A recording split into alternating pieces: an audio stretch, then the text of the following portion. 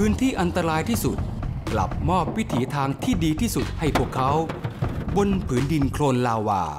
ณภูเขาไฟมายอน ประเทศฟิลิปปินส์ ติดตามชมใน Spirit of Asia วันอาทิตย์นี้ เวลา 16นาฬิกา30 นาที ทางไทย PBS